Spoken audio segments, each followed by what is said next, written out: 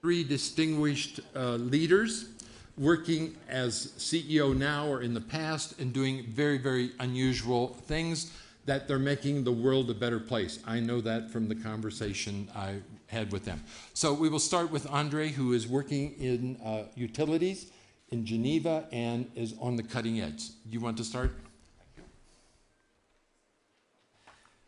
So good morning, ladies and gentlemen. I'm very happy to contribute to this Friday morning session about servant leadership in this century and in the next one.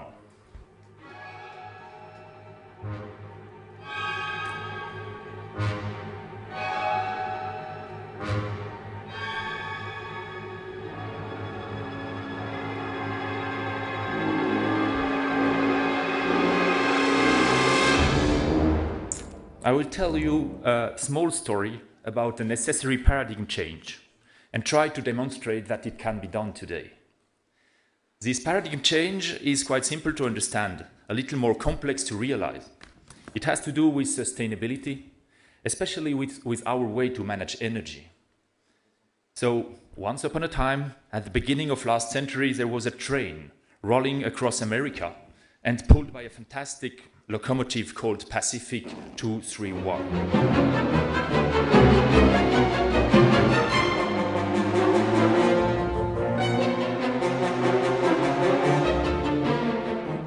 At the same time, in another country, in Switzerland to be precise, a music composer said, I have always loved locomotives with passionately. For me, they are living creatures. His name was Arthur Honegger. You'll find him on the 20 franc, uh, franc Swiss bank note here.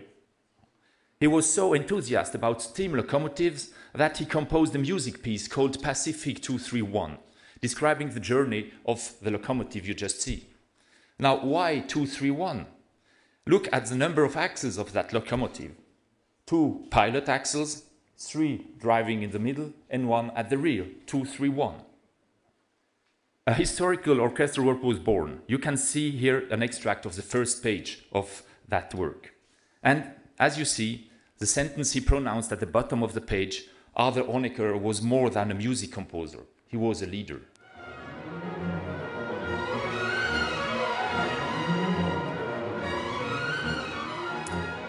And the last actor of my story is the world of energy, its production and its consumption, symbolized by the powerful train. So the three heroes are now in place a locomotive, Pacific 231, a leader in music, Arthur Honegger, and a very sensible country, Energyland. The story can begin.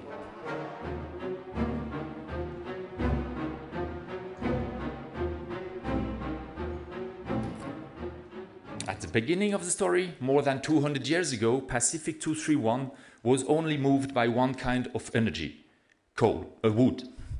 The need for energy was small, and a certain balance between production, natural production, and consumption was possible.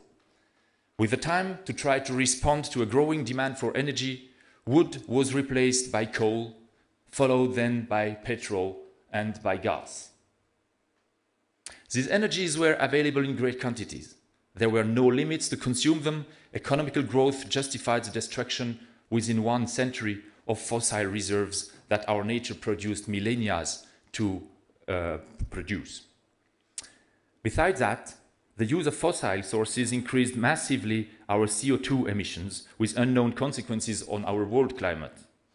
Interesting in terms of music, this part of the story has been illustrated by another music composer of the 20th century, Paul Dukas and his sorcerer's apprentice.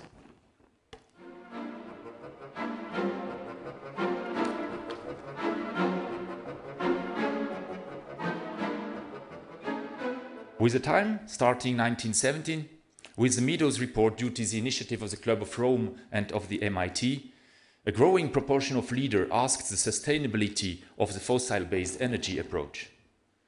A new kind of energy was developed, hydraulic. Zermatt is the best example you can find in Switzerland as almost all the water of the valley, it means 140 billions of liters per year, is pumped to an altitude of 2,400 meters in Trift and then flows in a 30 kilometer tunnel through the Alps to the Lac des Dix created by the largest dam in Europe, the Grande Dixence. A little bit later, Pacific 231 discovered the nuclear energy for war and for peace.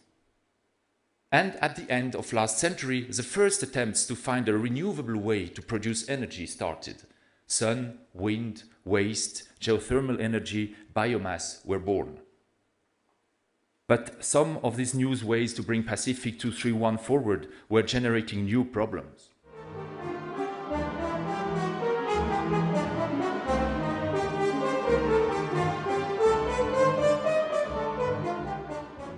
But the world was growing and evolving. Population, economic activities, quality of life, new big players like India, China, or Brazil, the needs for energy were growing and growing. So today, the story is the following. Pacific 231 tries to reduce the consumption of fossil sources to avoid scarcity and CO2 emissions. Hydraulic energy has been developed all over the world. The nuclear energy has slowed down due to the radioactive waste problem and severe accidents. The proportion of renewable energies is growing, but fighting against strong established economic interests. And this is new. A new behavior and new technologies appear and could contribute to better balance, energy efficiency. Humanity, should learn to consume less energy and especially to consume it in an efficient way. But the situation is not at all under control. The way Pacific 231 is going forward is not sustainable. How, do we can, how can we find a better balance?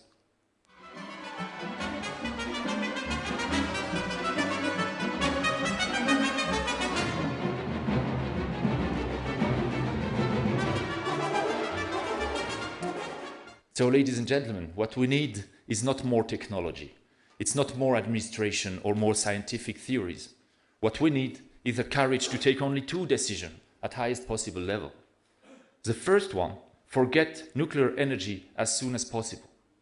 The second one, forget, forget fossil energy sources in the middle run.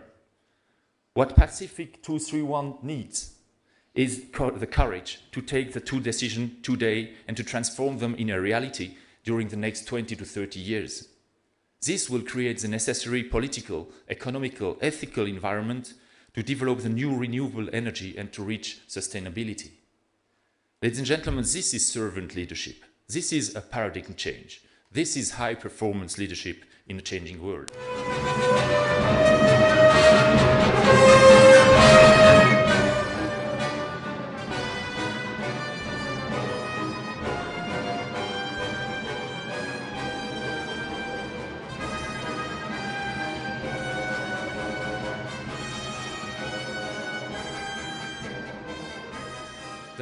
Result of these two decisions would be reality in 2050.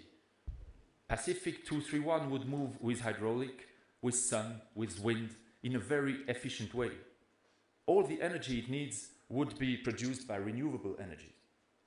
Let's remember, this is very important, the total energy sent by the sun to our Earth within six hours is the equivalent of the consumption of electricity of the whole humanity within one year.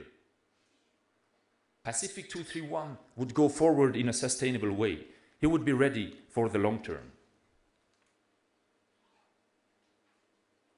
Now, Pacific 231 has reached a sustainable energy land. It's moving fast, but it respects political, economical, social, and environmental constraints and laws. It runs a steady state like the music of Arthur Honegger. It's entering the first station of the sustainable energy land. Leadership is the courage of taking the right decision at the right time, even when people believe the solution to be impossible. Now and today, let's demonstrate global leadership based on sustainable development.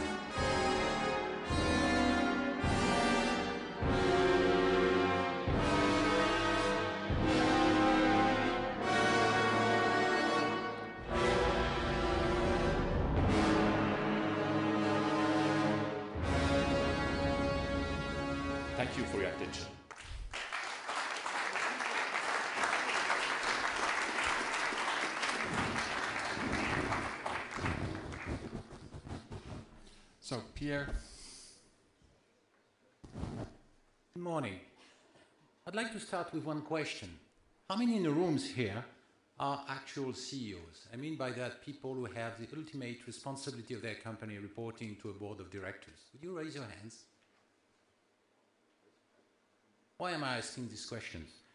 Well, we're talking about globalization, hum- humanizing globalization, and basically we're talking about the economy because today everything we, we're looking at and the effect of globalization is linked to the economy. The economy is made by the millions of companies worldwide, days and nights, small or, or big, that are making that economy. And I would take the point that the way they behave, their attitude in this economy is shaping the globalization. The point is that as CEO of a company, we have a paramount uh, influence on the attitude and behaviors of the people that are composing the, co- the company. Which means that I would make the point that globalization is about, by far, about the attitude and culture of those millions of CEOs that days and night, every day, are taking decisions worldwide. So if we want human, uh, globalization to become more human, it has to go through those people. Not only, obviously, but they have a paramount effect. We've talked yesterday about regulation, laws, and so on. If the guys who is in charge of the company want this company to be just profit-minded, if he want this company not to be ethics, he will find ways around any regulation, any laws to do it. If he wants to do it, he doesn't need any regulation, any laws, he will do it and he will be successful at doing it. So that's what we call leadership.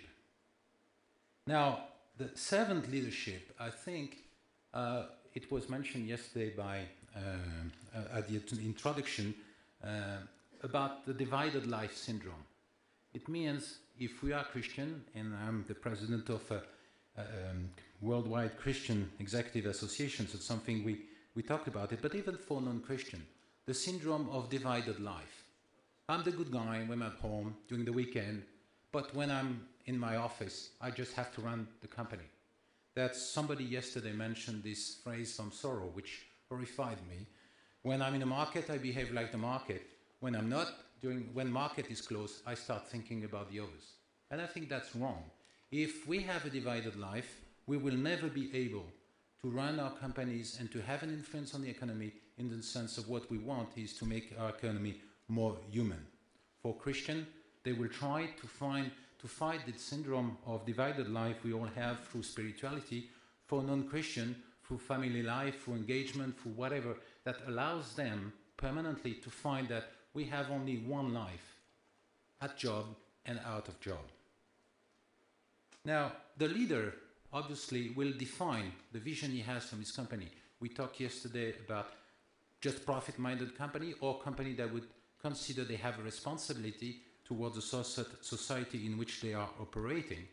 Again, uh, if you have this syndrome of divided life, this is not a question.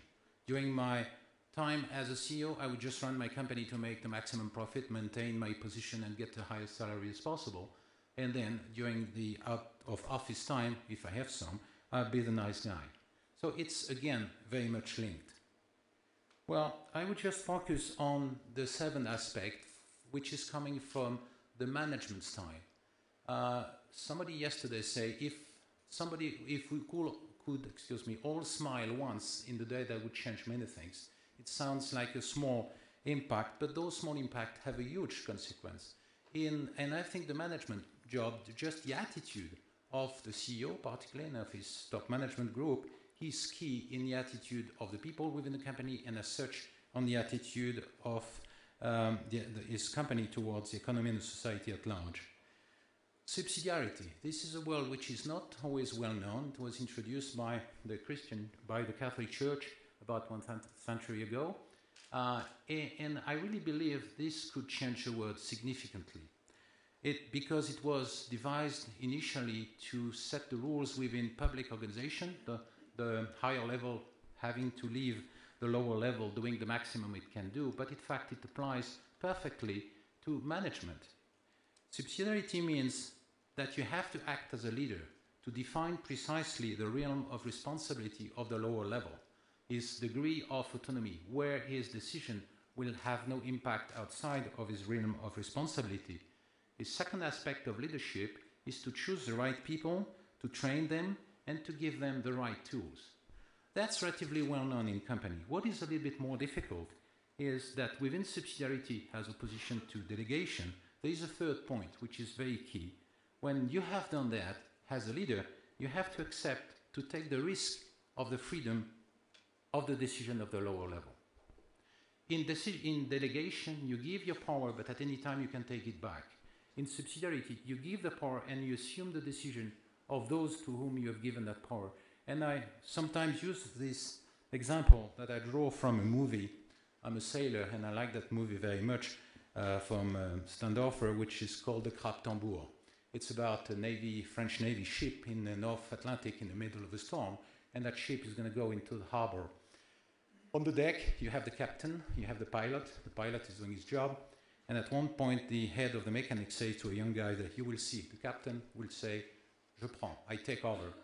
He will give free orders, and the boat will be uh, on the wharf with no damage. That's delegation. It's very comfortable for the pilot. He knows the boss is on his back, and he will always be there if something goes wrong. It creates a lot of visibility to the boss. He's on the deck. Everybody knows he knows everything, and he will demonstrate permanently how much he knows about what he's supposed to do. That's delegation. In subsidiarity, in the same movie, the captain will be in his cabin reading or sleeping because he knows he's chosen the right guy. He knows he can trust him, and he takes the risk of the decision of the pilot because he knows in the French Navy, like in any navy, that if the boat hit the wharf, he's going to be fired, not the pilot. That's the difference between subsidiarity and delegation. Now, think about it. If in all our company, but not just companies, we could ju- just play that role and permanently take the risk of the decision of our lower level of our collaborators, the world would already change tremendously. Now, again, it doesn't mean forgiving about forgetting about the responsibility we have. Again, we have to define a realm of responsibility. We have to choose the people. We have to give them where they want to go, uh, and that's the essence of being a leader. But when you take the risk of the lower level, then you become servant. Exactly as Christian, as Christ, uh, washing the feet of his disciples. He was God. He knew he was God. He let those disciples go. Or God during the Old Testament. He picked up his people, trained his people permanently, and he had to do it several times, but basically let them the freedom. God at the feet of the freedom of his disciples. To a large extent, as CEO, we should be at the feet of our collaborators, at the feet of their decision. It doesn't mean forgetting about our responsibility, but it, it means being really servant of their own freedom. And that's where you introduce grat- gratuity in the economy, as the Pope recently remembered all of us. Thank you.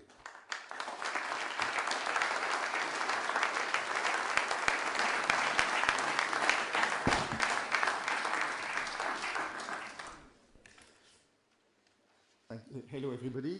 I have a slide. So I basically would like to make uh, nine points. So I will go, th- go through the slide. First of all, I would like to say that I am, like each of you, very concerned by the damage of the financial crisis, both real damage, but also damage in the mind of people. But the answer to me is not to invent revolutionary things. We just need to go back to very basic things about free market system and origin of company. So before talking about CEO responsibility, let me mention basic things about free markets. And basically, this is the idea of servant companies. A market economy is a huge progress of mankind, going from aggressiveness and constant fighting to commerce and exchange. Market economy basically transforms potential enemies into customers and partners. Formal corporations were born when people discovered balance sheets, so 500 years ago. Market economy is freedom, freedom to exchange. Corporations are vehicle of initiative, therefore of people development. Unfortunately, after 500 years, a lot of people still ask questions. Controlled economy are gone, but their inspirers, and I call them Marxism, is still alive in the mind, especially in Europe and France. Marxists view production as a center of value creation. This is the wrong idea. This is the idea of capitalists with money, buying machines, exploiting workers, manipulating consumer with uh, advertising, and then make profit. this idea is still there. This idea is perpetuated by people who have no practical business experience and basically we take customers, so each of us like crazy people. One of the reasons of this misunderstanding, in my opinion, is that unfortunately, business people don't spend enough time talking about the beauty of free market systems. We have to explain that the essence of economy is not production but exchange. Company only exists when they provide a service. There is a lot of competition, so customers can switch from company to the other. So if a company exists, it gives it give a, a free service. We must explain that a company is a servant. So let me move to the second point. Servant company can be successfully managed by tyrannic bosses. The good company is the one who listens to customer and serve him best. Winning company are service-minded companies. Do you really think that a company whose success depends on service to customer can be managed efficiently by bosses obsessed by power? Successful company can be only managed by service-minded bosses. Power-minded bosses do certainly exist, but they manage company that will soon disappear and be bought by service-minded company managed by servant leaders. Let me move to the third point, servant leader and personality development. Buying and selling a product requires personal decision from the seller and from the buyer. For the buyer, I put my money in the, into this product and this service will be okay for me. It's a decision. For the seller, I am confident that the check I get will be paid. This is also a decision. So for the two actors, exchange requires personal judgment, therefore develops responsibility. Successful exchange stimulates specialization. Because if I buy a product that I don't produce myself, I basically accept to depend on somebody else. So sooner or later, I will focus on what I do by best. So relying on exchange means specialization in the long term. If we look ahead, free market system should become a world of champions, world champion, where everybody depends on the others. Free market is fundamentally a world of excellence and interrelationship. That's why state activity has to be kept to activity that only state can do. Justice, police, foreign affairs and army. The reason is simple. When state develops its activity, product or services are imposed.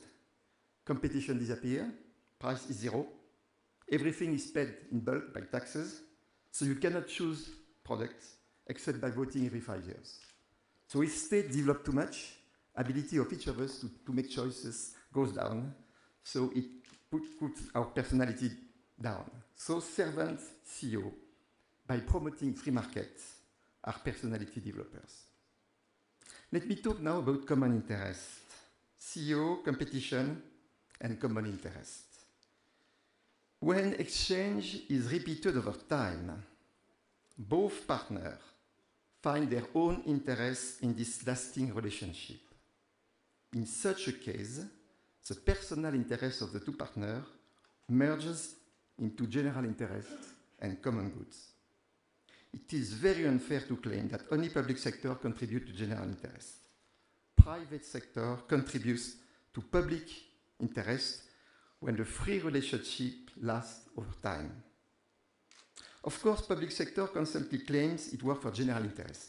It is totally true when state practice justice, police, diplomacy, army, and local management. Without a strong state, freedom and property rights wouldn't exist. In such an environment, a company cannot simply perform.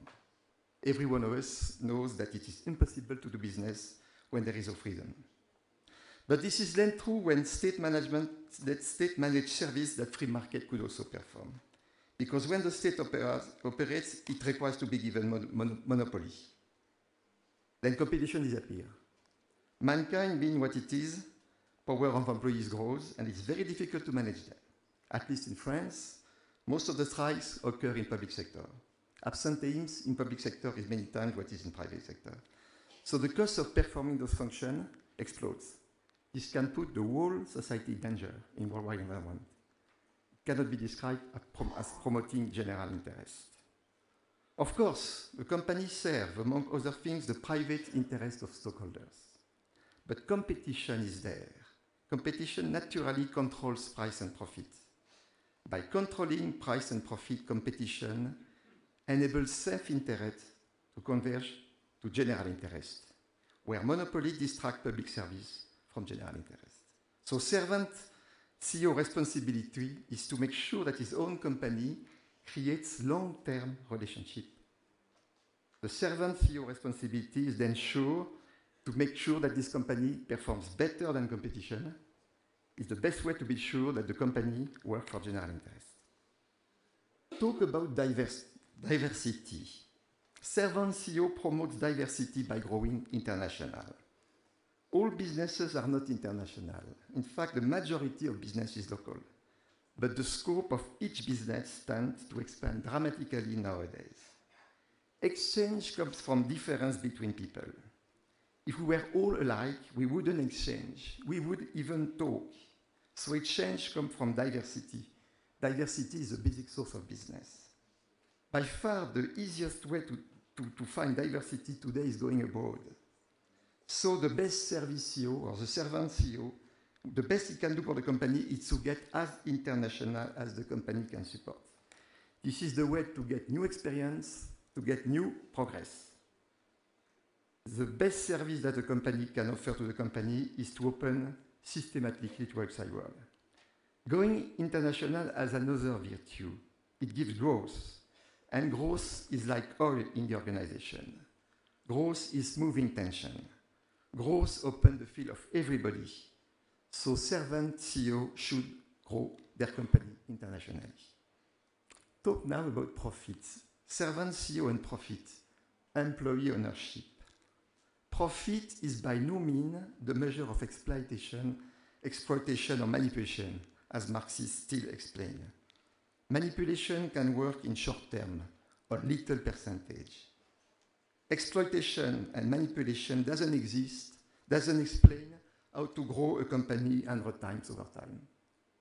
In all fairness, profit is a reward. Profit is a reward that customers give to the best supplier. Profit is a proof that the product met customer expectation. In a competitive environment, profit is a proof that operations are correctly organized. When the quality of product is competitive, the company will expand internationally. The world is the sole limit. Companies who have been able to grow 100 times don't exploit employees 100 times. They expand because they sell a good product that everybody buys. Profit is a sign that the company has correctly invested. Profit is also by far the simple way to finance a company. Profit is a control system because it attracts competition. Profit works as a natural regulator.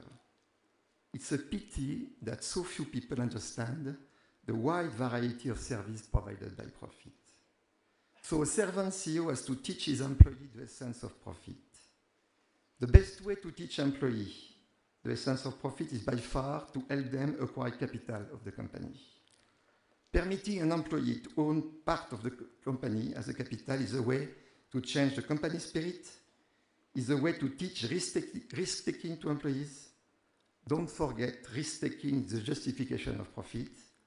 Employee shareholding is a true answer to the financial crisis. Now move to competition.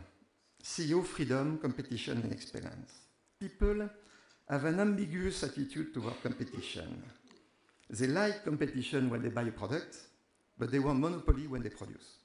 The issue that each of us is both producer and consumer, so competition cannot be split. Of course, competition creates some stress. I call it good stress. But a servant manager has to show his team how to manage stress and transform it into personal leverage. In controlled economy, competition disappears, but you have the stress of political police. I prefer the, the stress of competition to the kind of stress in the disappeared control economies. Competition stimulates. A champion needs competition to excel. Champion is a result of competition. Each of us can be a champion. Competition like freedom is a chance, it makes sure to ensure equality of chance. Competition is another name we should give to freedom. So servant CEO should teach his colleague to use competition as a way to make progress. Servant CEO in finance. Financial leverage permits theoretically to, to make in five, year, in, five, in five years what normally should take 15 years. What is hidden, of course, is the increased risk created by leverage. Recent crises revealed that this risk exists and cannot be diversified. So before over-leveraging a company, uh, the CEO has to think twice. You cannot buy time. As far as I am concerned, I always recommended to manage Essilor without debt. We have been able to grow constantly without debt. We enormously benefited from zero debt strategy during the crisis. Too high reliance on debt is not sustainable development. This is true to company as well as for states. In recent times, leverage is associated with LBOs. LBOs basically put a debt on a company to shift its ownership. We tend to use the more leveraging, we should use the word loading. When a company was poorly managed and underpriced, LBO can work. With efficient markets, LBO cannot work because they put unsustainable, unsustainable debt on the companies.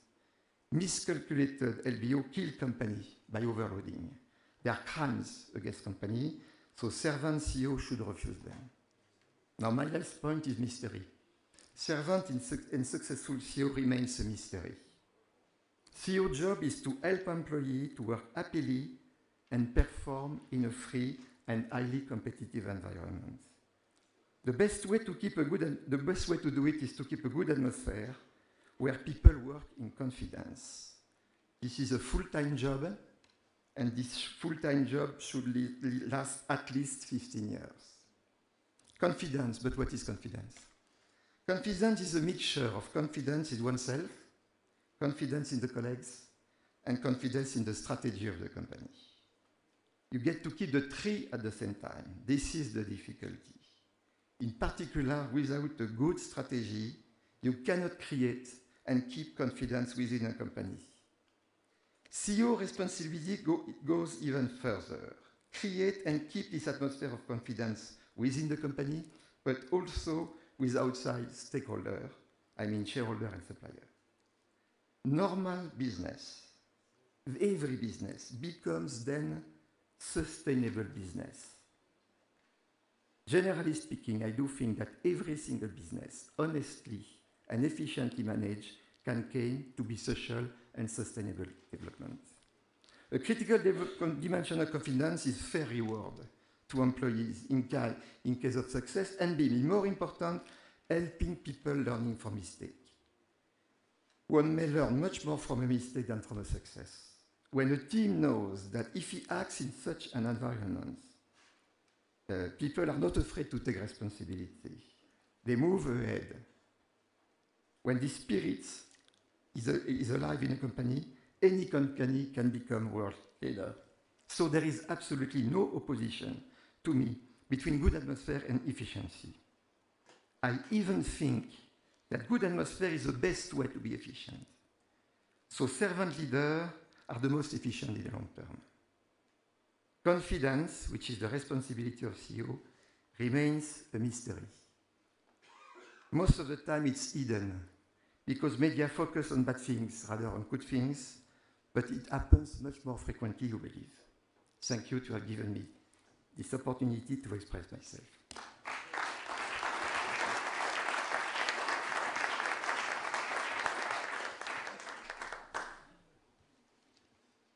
Thank you very much. Let everybody stand up. You've been sitting for over an hour. It's early in the morning. Get the neurons firing. And find someone near you that you haven't met yet, if possible. Say hello. And what, li- listen, listen up. What is one idea that you got from the panel this morning? And what is one question you have? All right? What is one idea, important idea, and one question? It's very kind, but I have to jump around just to make sure everything is working.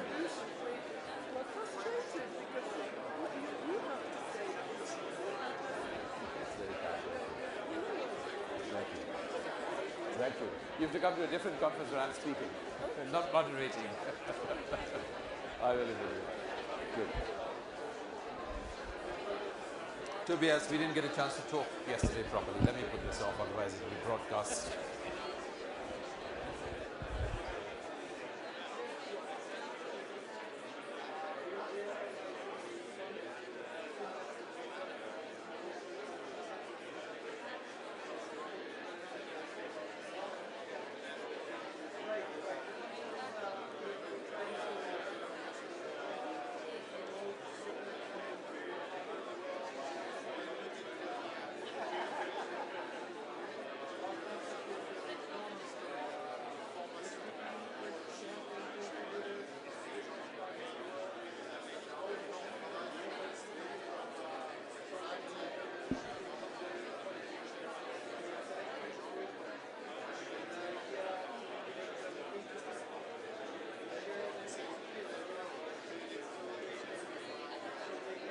Okay, 30 seconds. 30 seconds.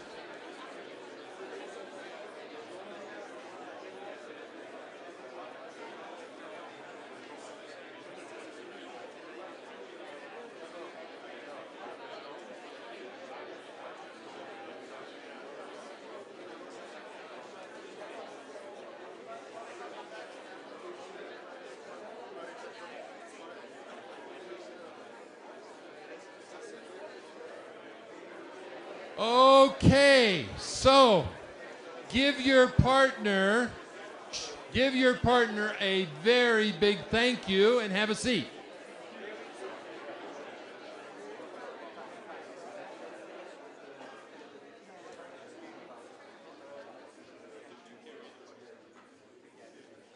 So, we're going to just open the floor up to the questions. You can who, who all has a question? Okay. That's all? There should be a lot more questions. Okay. So, when you ask your question, if you want to ask it, ask it directly to one of the panelists, say who that is. Otherwise, I'm going to distribute it. Please make the question very direct and very brief. And if you want, throw in the idea that you got. Coming together here at the Zermatt Summit is an opportunity to collect ideas, but you have to pay attention when you have an idea Otherwise, what happens? It's gone. Think of all the great, great ideas you've lost. Okay, so you have a question right here. We'll start here.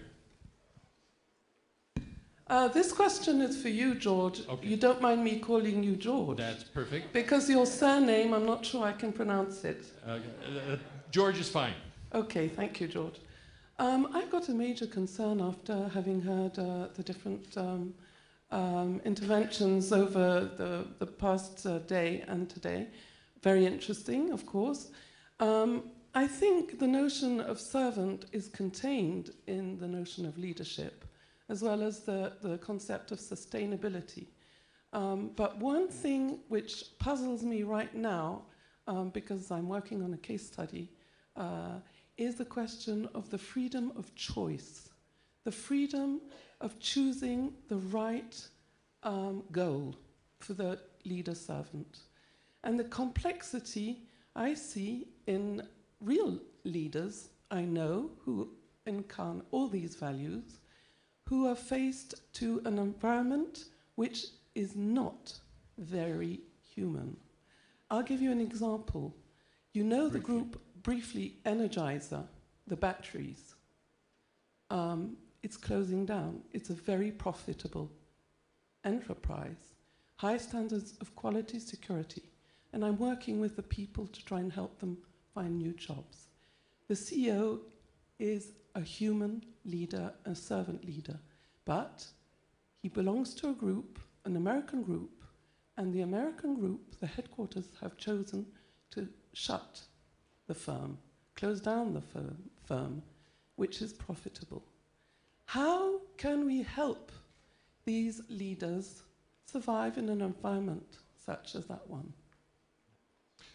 Um, that's a complex answer or question, and really it involves the mindset of the leader.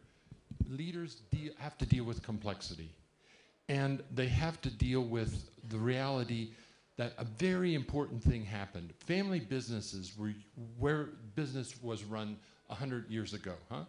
And at some point, there was a decision made to give corporations the opportunity to act as a person. They have the rights of a person. And legally, they're treated like a person. This, I think, was a very, very big transition and took us away from human governance. How do we come back to human governance? How do we teach ethics? Human governance means I come back to my basic humanness. I treat the organization as a human. And let's face it, a corporation is not a human being. It's not a human being. And we try to treat it legally as a human being. And this creates a lot of problems. I feel a lot of compassion, a lot of grief for this kind of situation. The best that the CEO can do is fight for what he believes in, stands up for what he believes in, and get to those people who make those decisions. Are these decisions based purely on profit or are there other reasons? Yeah. So, way in the back, there was a hand. Oh, yeah.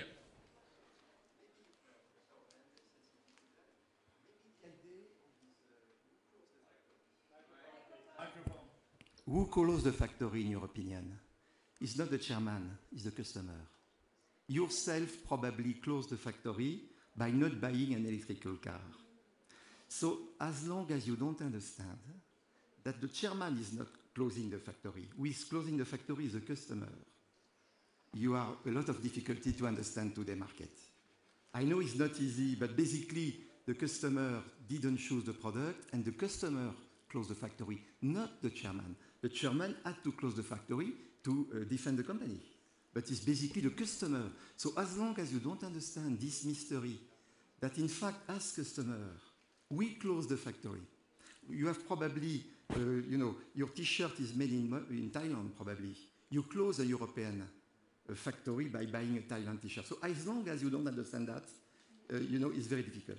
And of course, the market system has to help with a good employment system where when the customer doesn't want a product, so of course we have to find a good uh, market system where people can find another job. Okay, thank you. That's as, the answer. As CEOs or as, uh, knowing how this works, what does a CEO do in this kind of situation?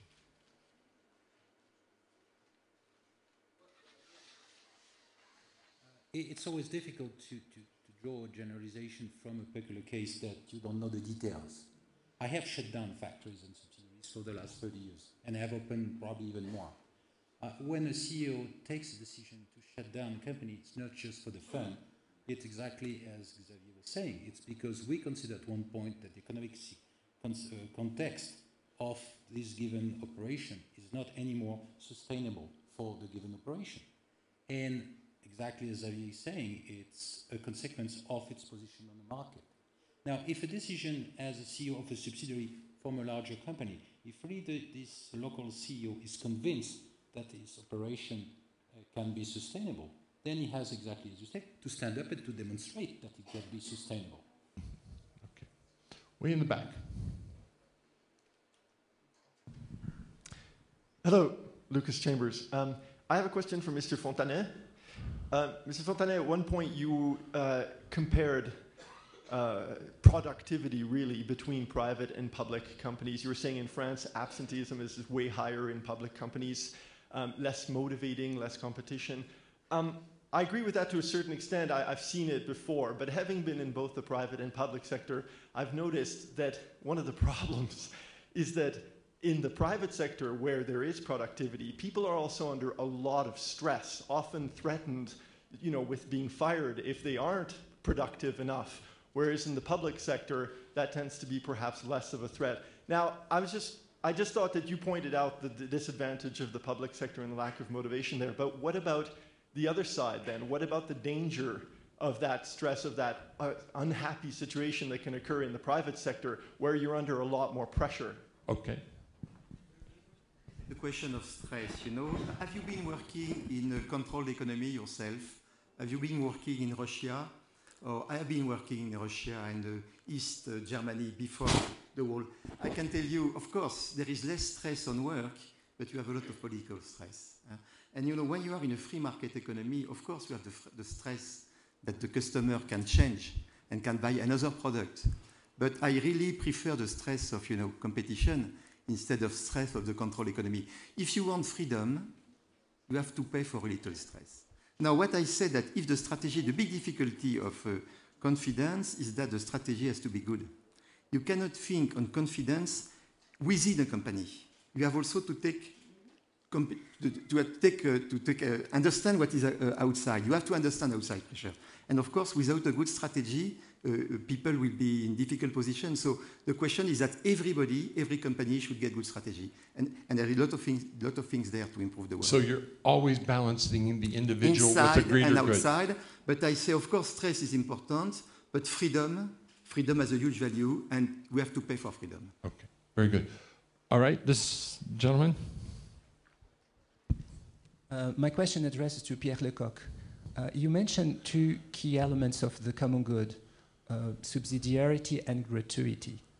It seems to me that there are two words a little bit forgotten and erased from public sector. But my question is how do you place uh, gratuity in this process of humanizing economy, humanizing uh, business relationship? And most of all, how do you place gratuity in the role of a local or a global leader? Put, put, put, put, put that in your pipe and smoke it. That's, that's a tough one. Uh, it depends how you define gratuity. For me, gratuity is more a state of mind, a personal attitude. And when we talked about gra- gratuity in as a servant leadership, uh, the image I used of Christ uh, kneeling at the feet of his disciples and washing their feet, knowing he was fully God and still kneeling in front of the freedom of his disciple. This is the best example of gratuity. And I think as, as, a, as a CEO, as a leader, when you deploy fully uh, the concept called uh, subsidiarity, where really you let, you put your people, your, your employees in a situation when they can exercise their freedom, it's a fantastic gift. It's a gift that based their dignity as men. And I think that's probably where we have to find gratuity. And, and when Benedictus XVII talked about gratuity in economy, he was not so much talking about offering free product. That has nothing to do with what we're doing. He was much more talking about the attitude we should have to offer our knowledge, our experience, our intelligence as gift to an organization and to the dignity of those who are working within that organization. Thank you. Yeah, good morning to the free speakers, if I may. If we look at the growth process, we have really new actors coming in for the last years, very strongly, very faster. So let's take China, India, probably Turkey, Brazil, and some others.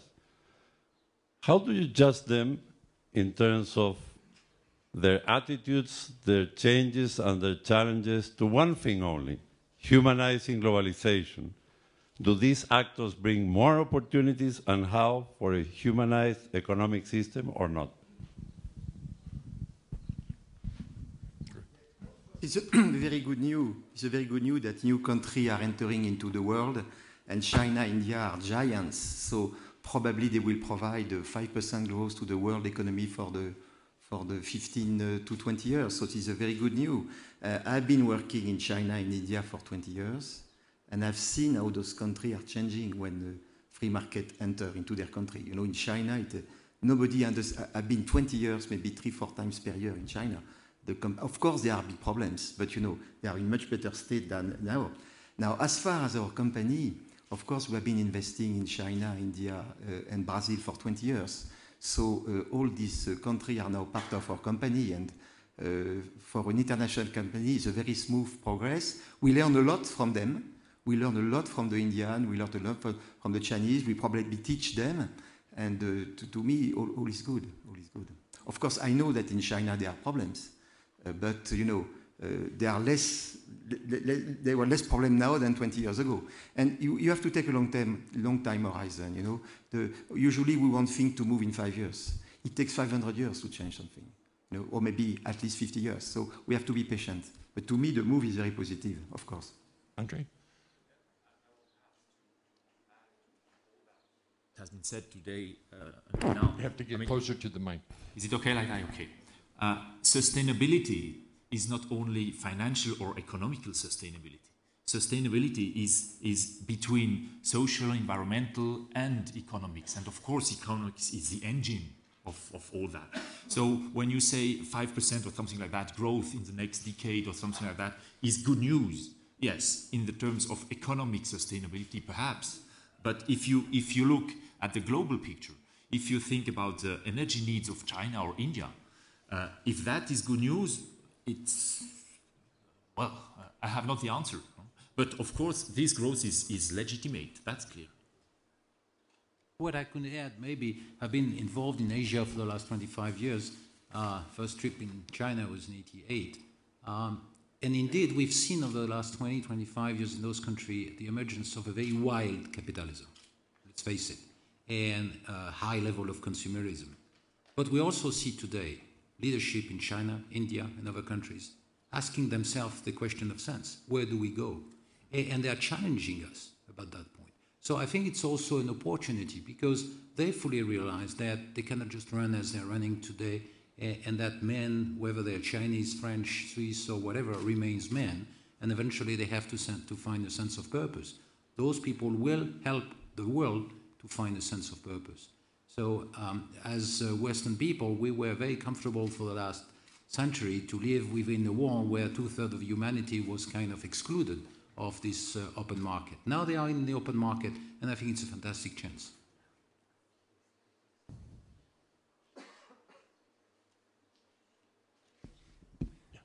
First here, and then we'll come over. Uh, Indre Ratsiu from uh, Romania. Uh, a question for Xavier Fontanet. Um, thank you for um, emphasizing what it's like in a controlled economy.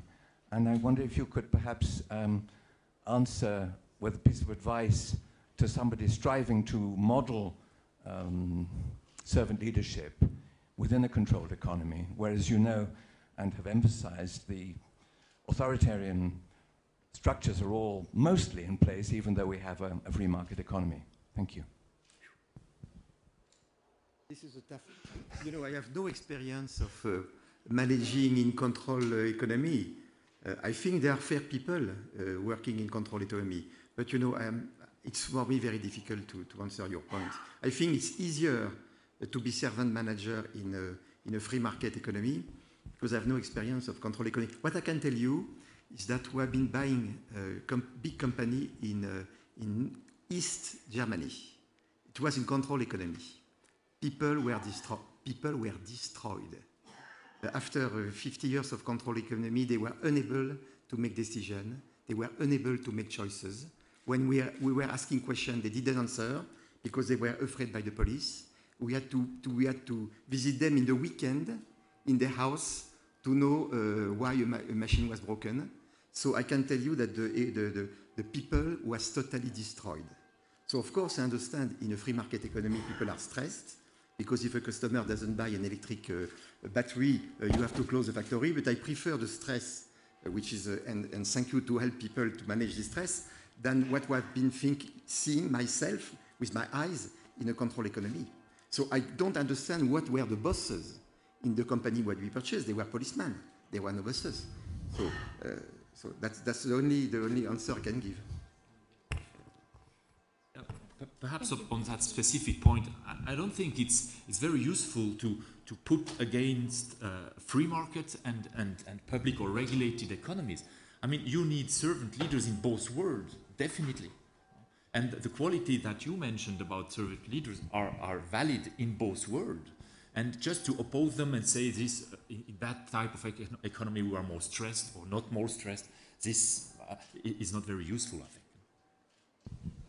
Good. Gabriela Müller Mendoza. So this question goes starting with George and then the rest of the panel. Um, given the fact that at least 50% of the world is female and male, right? If not more. um, and out of the 500 Fortune companies, only 12 are run by women. So within the, the frame of globalizing, uh, humanizing globalization, From your own perspective, two questions. Why is that? And what can be done, both genders? Thank you. I, uh, I, I want to be a little bit provocative on that. I don't think this is a, a, a, a real problem. I mean, there is an evolution, and it is true that today you find less women in the board and executive part in the Western world than you find men. It's also a question of evolution. When I graduated from my school, there was two ladies uh, among 600 students. Today, the same school, 60% of the students are ladies. My generation today is running companies. Then their generation will see as many women as men. It's a question of timing. Uh, I keep hearing in France, for example, that there is, I think, 24, 25% difference in salary between men and women. This is wrong, totally wrong, because it's a bad usage of statistics. I've checked it in my company and in companies from Les EDC, which is a UNIAPAC uh, organization in France, out of 2,000 companies. There is no difference. For the same job, same age, same responsibility, there is no difference. The problem is it, it's a question that today women are rising through the organization. So if you compare the salary mass divided by number of people between the two groups, indeed, you find a difference. But that doesn't mean we treat women differently from men. You will see women raising, and this is actually the case. Every year you see more women in boards, every year you see more women being CEOs. In our organization, we start having women running factories, which when I started my career was impossible. So it's a question also of timing coming on. And in a new country, you see a lot of women running companies and developing. So I would say it's not a false problem, it's a reality, but it's a reality that's changing very rapidly, and for the good one. I mean, I, I fully agree with that. I, I totally agree, nothing to add. Totally agree. Okay. Yeah, Martin Wilde from UNIAPAC Europe. Uh, I want to highlight this issue of subsidiarity. And in my point of view, that is really a key to humanizing our economic world because this allows to put face to face relationships again at the center of our uh, interactions. And if you do a relecture of Adam Smith, you will remember that besides his Wealth of Nation, he wrote the theory of moral sentiments, where he describes the, let me put it, social laws of the small community, uh, the family, the neighborhood, and so on and so forth. And I think if we really want to humanize globalization, we have to look at the small units where the face to face relationship uh, is key. And I think that is only possible if we really obey the principle of subsidiarity, even in our businesses. And, and I think that is, if I look at at the Christian social teachings, the principle of the common good, the principle of personality, solidarity, and subsidiarity, this is the precise recipe to interlink these two worlds the big world of anonymous relations, the world of nation, and the small world of face to face relationships of the theory of moral sentiments. And I think we have to highlight this, otherwise, I will be afraid we will discuss the wrong issues. Do one of I you mean, want to uh, that's why I pick up the point of subsidiarity very rapidly. Think about this pilot in the boat, knowing this captain in this cabin. He takes the whole responsibility, but he's standing up. His dignity is fully respected. For the boss, he's no visible, and that's where he's a real servant. And you can really build a company around that. Yes. My answer to your point is just a comment is that the way we uh, favor subsidiarity is in the organigrams of the company, in the chart of the company. At Essilor, we try a boss should be able to, to work with 12 to 15 people. So the big issue is to get very flat organization because in Essilor, uh, between the chairman of the company and the, the, and the employee in the factory, there are only five steps. So when you have only five steps, uh, it kills first of, first of all bureaucracy, and bureaucracy is a killer to subsidiarity. So you have to take, and bureaucracy exists everywhere, even in large company. And the way to do it is to get very flat organigram. Now it's very difficult, it's very demanding, but this is the way to go. So that's the way we promote uh, subsidiarity. Very, very flat. So everybody has to grow. Uh, everybody is responsible of something. So uh, subsidiarity needs a very good architect of organization. And basically, you kill bureaucracy as much as you can. Yeah. That, I'm sorry for the other questions that you have. You can catch the panelists later. I think the one interesting insight here among the many is that we do come back to people face to face, individuals. There are human beings with emotions, families, lives, purposes. How does a CEO running a large organization be able to take that into account and still be socially responsible and make a profit? How about joining me in a very nice round of applause for our panelists? Thank you very much.